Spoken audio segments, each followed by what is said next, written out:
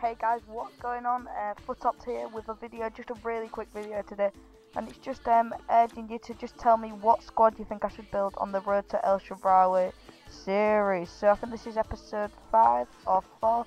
So yeah, just comments down below, subscribe to me first, then put the team uh, or like a league or like even details as much as the player.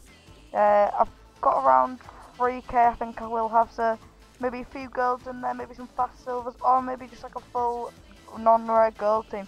So remember, put the comments in below and to like, comment the um, players or team, and to subscribe. So thanks for watching and peace.